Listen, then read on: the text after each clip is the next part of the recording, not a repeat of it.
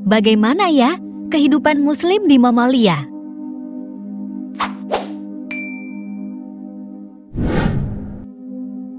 Di video kali ini, kita akan membahas tentang Islam di Mongolia, sebuah negara yang terletak di Asia Tengah yang dikenal sebagai negeri asal bangsa Mongol yang pernah menguasai sebagian besar dunia pada abad ke-13. Bangsa Mongol yang dipimpin oleh Genghis Khan dan keturunannya terkenal sebagai bangsa penakluk dan penghancur.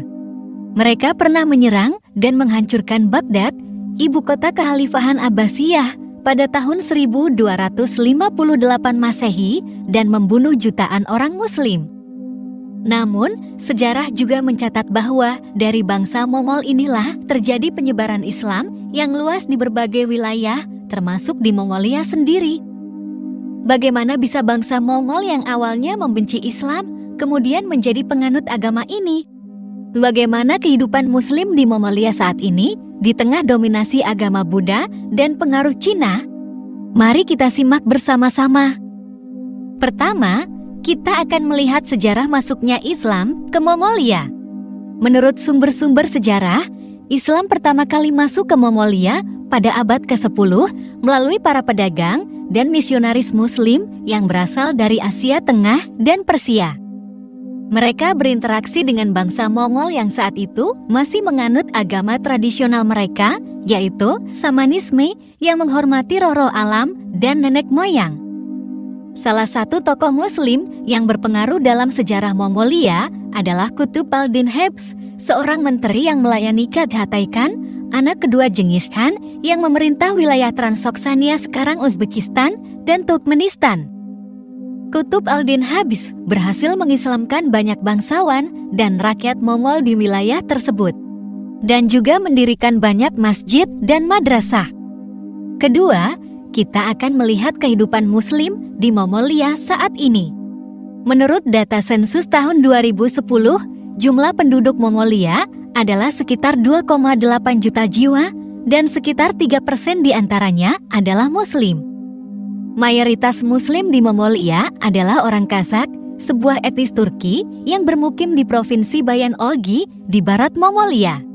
Selain itu, ada juga etnis Khoton, Uighur, dan Tatar yang juga beragama Islam. Kehidupan Muslim di Mongolia tidak mudah karena mereka harus beradaptasi dengan kondisi alam yang keras dan juga menghadapi diskriminasi dari mayoritas penduduk yang beragama Buddha atau ateis. Selain itu, mereka juga harus bersaing dengan pengaruh Cina yang merupakan negara tetangga dan mitra dagang utama Mongolia. Salah satu tantangan yang dihadapi oleh Muslim di Mongolia adalah ketersediaan fasilitas ibadah dan pendidikan Islam.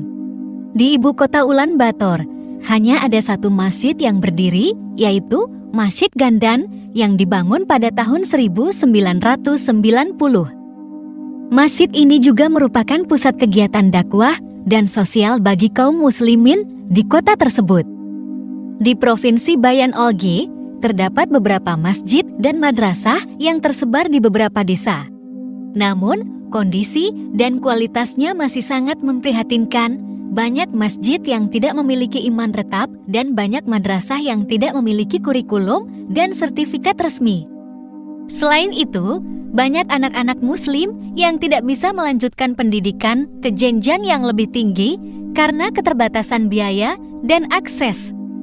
Untuk mengatasi tantangan-tantangan tersebut, kaum Muslimin di Mongolia berusaha untuk meningkatkan kualitas iman dan ilmu mereka dengan mengikuti kajian-kajian Islam yang diselenggarakan oleh lembaga-lembaga dakwah, baik lokal maupun internasional.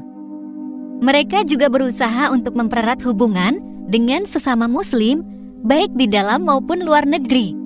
Dengan mengadakan berbagai kegiatan sosial dan budaya seperti perayaan Idul Fitri dan Idul Adha, festival budaya Kazakh, dan lomba berkuda dan memanah.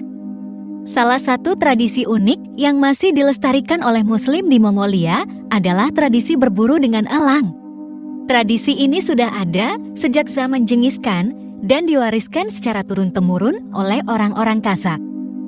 Mereka melatih elang-elang mereka untuk menangkap mangsa seperti kelinci, rubah, atau serigala dan membawanya kembali kepada pemiliknya. Tradisi ini tidak hanya menjadi hobi, tetapi juga menjadi sumber penghasilan dan kebanggaan bagi mereka.